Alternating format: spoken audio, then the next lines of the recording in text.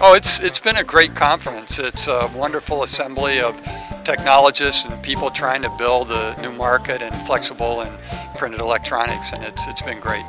So it's our products, uh, which is called Smart Label, which is connecting everything in the world to the internet.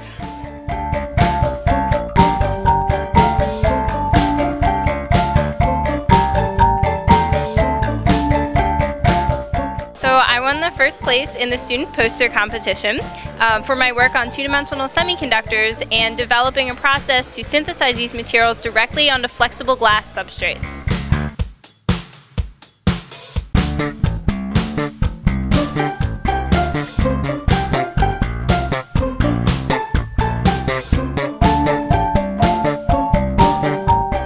So we won the Flexi Award uh, for Technology in Education, Technology Leadership in Education, and we're very excited. We really appreciate the acknowledgement.